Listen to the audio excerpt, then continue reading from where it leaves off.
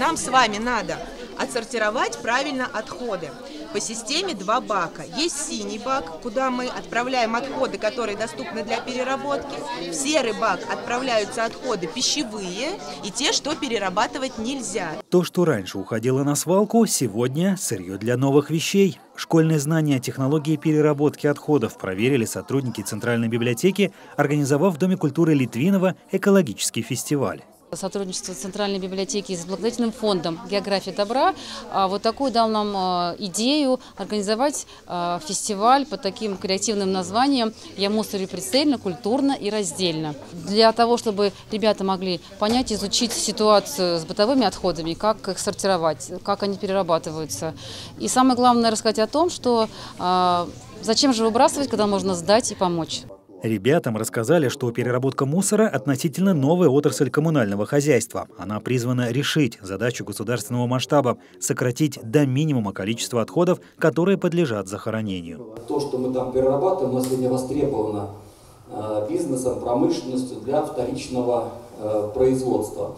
Заложили сейчас э, строительство четырех заводов по э, утилизации так называемых хвостов. То, что нельзя дальше перерабатывать. И преобразовывая их э, в строительные либо отсыпочные дорожные материалы. Вот эта вся программа рассчитана до 2030 года.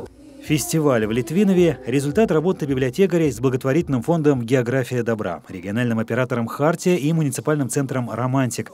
Каждый предложил свое задание для экологического квеста. Мы сейчас сочиняем стихи о природе, о том, что нам близко, на заготовленные рифмы. Вот у ребят что уже получилось? Солнце посветило в оконце, мы вышли на природу в хорошую погоду.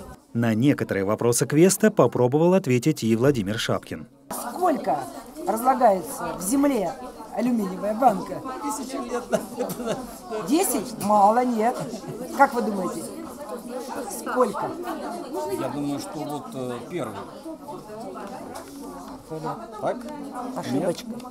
500. 500 лет. Ну, ну да, ну, вы были процесс, почти близки. Процесс окисления.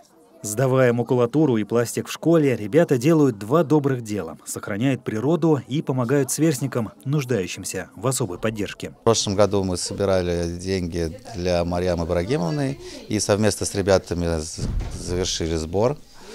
И сейчас мы собираем для Сережи Привалова, у него синдром Нема. И уже в этой акции участвуют, присоединились и библиотеки городского округа Щелково. Вы делаете двойное добро, то есть спасаете планету и, и ребенка. Это очень-очень ценно.